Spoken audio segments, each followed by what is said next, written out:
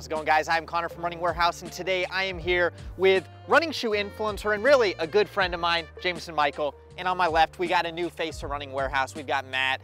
Today, we are gonna be talking about some of the top brands in 2022. We've talked about some new shoes, but now we're gonna look at the full line and really Connor, give... Connor, goodness gracious, can we get to the point? It's hot out here, man. We in Austin. It's like the Cali weather. It's hot out here. Can we get to the point? The best brand of 22. I'm sorry, Jamie, I know you're on a tight schedule. You got photo shoots lined up every hour, but let's, let's start it off with you. What are you gonna say is gonna be the top brand? We're looking at the full line from Daily Trainer to Race Day. Who you got? Wanna guess? Asics, once again. I'm telling you guys for years now, stop sleeping on the brand that matters. Novablast, fire. Metaspeed, fire. Nimbus Lite, Connor, fire.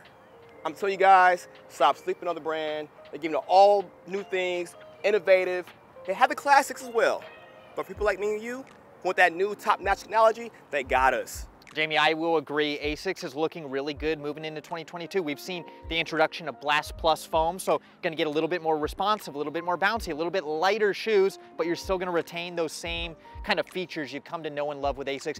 Now we gotta go to my top brand of the year, because while I think ASICS is gonna be up there, I'm gonna one step you one more time. I'm gonna go with New Balance, top brand of 2022 for the full line. So many great shoes. First on up, we gotta talk about the new introductions, the SC Pacer, the SC Trainer, and then the more elite marathon racer, the SC Elite. We've got three amazing performance options using very responsive foams. It's just a no-brainer in the race department for New Balance. Then we move over to performance side. We've got the new Rebel V3. Rebel V2 killed it in 2021. Now we've got more responsive, lighter. It's just taking that shoe that killed it and just bringing it up a notch.